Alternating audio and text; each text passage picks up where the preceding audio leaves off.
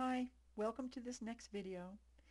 This video is going to focus on Module 1 and the homework that you have to do this first week of the semester. This module, basically, you'll learn about Canvas, how Canvas works, what we expect you to be able to do in Canvas, and also some of the particulars about OFTC 111. All modules begin with an overview and objectives basically just a listing of what you can expect to learn in that module. Then the next thing in every module will always be a checklist.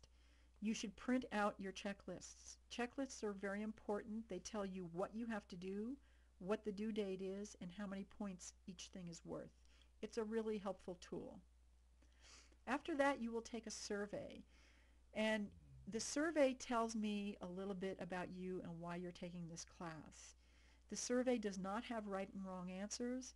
Even though Canvas may make you feel like there are right and wrong answers, don't worry about it. It is just a survey. After that, we have a sample quiz. Any of you who have already taken quizzes in Canvas probably could skip this. But if you have never taken a quiz in Canvas, or if you have any kind of test anxiety, you might want to come in here and take it a couple times. It will just give you a good feeling for what quizzes are like and what you can expect to see on your screen when you take a quiz. After that, we'll deal with the syllabus. The syllabus document itself is right here.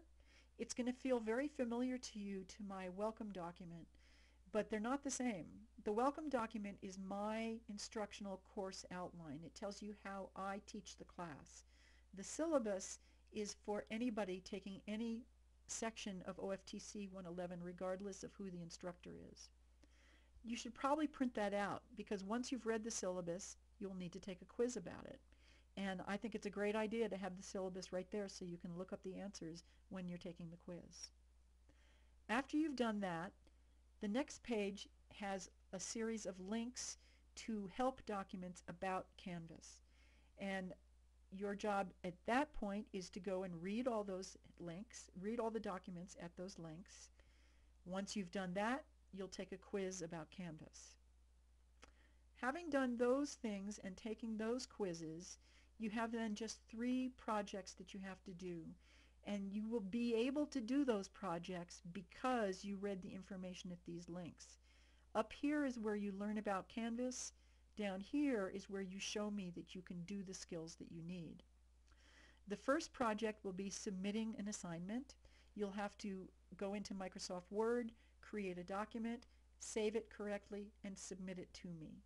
Be sure to read the instructions because there's specific information that has to be in that document. After that, you'll participate in a discussion board. That's really going to be pretty easy. You're primarily just introducing yourself to your fellow students. It's almost really a social thing for this first week. After that, the last project that you have to do is you have to show me that you can send an email in Canvas. Uh, you have to show me that you understand how to do that. Again, be sure to read the instructions carefully because there's specific information that you have to send me in that email. Once you've done with that third project, you'll be done with your first week's homework. All of this is due on the first Sunday of the semester.